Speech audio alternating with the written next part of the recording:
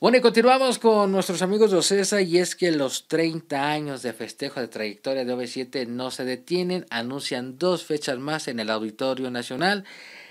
26 y 27 de noviembre, preventa City Banamex el 26 de noviembre, la agrupación que ha dejado huella en el pop mexicano, OV7 sigue con los festejos por sus más de tres décadas dentro de la escena musical y como se los advertimos, los festejos van para largo.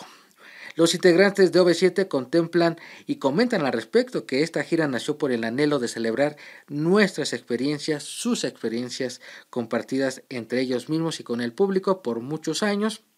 Y decíamos por ahí que luego de varias dudas de que si se llevaría a cabo o no, pues miren, ya están abriendo más fechas para que todos los fans de OV7 puedan disfrutar y sigan festejando estos más de 30 años de carrera. Así que recuerda, 26 y 27 de enero del próximo año, del 23, la agrupación estará nuevamente en el Auditorio Nacional. Muchísimas gracias a nuestros amigos de Ocesa, a Rafa, a Marco por la información. Nosotros continuamos con más.